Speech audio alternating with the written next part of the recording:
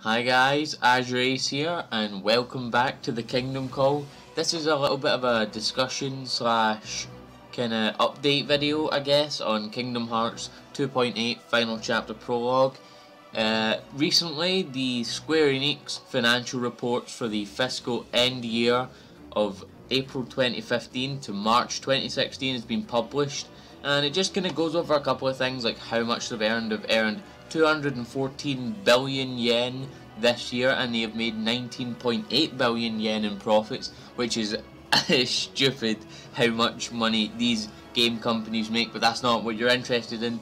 Uh, the picture you're seeing on now is something that they put at the end of their financial report and it is detailing the games that are set to come out in 2016 and as you can see yes 2.8 is still expected to come out this year so this does kind of remove all of the tension.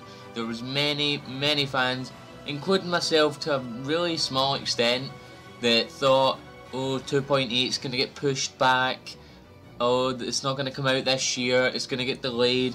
But it's not. It's still set for 2016 in Japan, North America and Europe.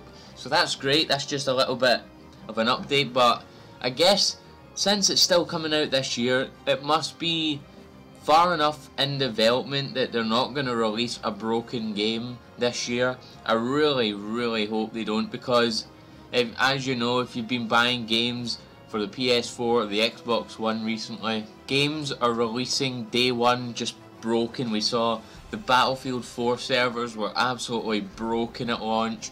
Games just getting patches and updates up the ass just as the game goes through. Destiny is another example, The Division, Assassin's Creed Unity, all games that just release broken. So that is a concern for not only 2.8 but for Kingdom Hearts 3 as well.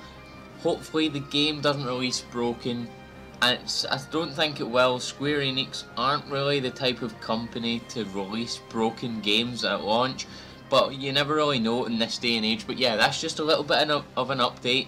Kingdom Hearts 2.8 is still expected to come out in 2016 and we should be getting more news for that at E3. I'm going to actually mention before I end off this video that, and I apologise if I butcher this name, Hironori Okayama, the producer for Kingdom Hearts Unchained Key, did say in a recent interview with the Coalition, I think it was only like the last week or so this interview came out, that Kingdom Hearts 3 will be at E3. This is huge news. I'm going to possibly put out a video soon talking about what I expect and what I hope to be E3 for Kingdom Hearts 3. So be sure to be on the lookout for that. I'll have an update soon on the channel, just a channel update for the month of May. And it, I mean, it's halfway through May. I really shouldn't I'm going to actually start doing an update at the start of every month just to kind of tell you what's going to be happening with the channel and what I hope to do and what I expect to do and just things that are impeding me and doing anything for the channel so keep a watch out for them. But nevertheless if you guys like this video please leave a like comment your thoughts. Are you happy that Kingdom Hearts 3 is going to be at E3 obviously you're going to be happy that it's at E3 but are you satisfied now that we know 2.8 is definitely coming out in 2016 or it's set to come out in 2016. Share this video amongst your friends and subscribe to join the Azure Army today. Thank you.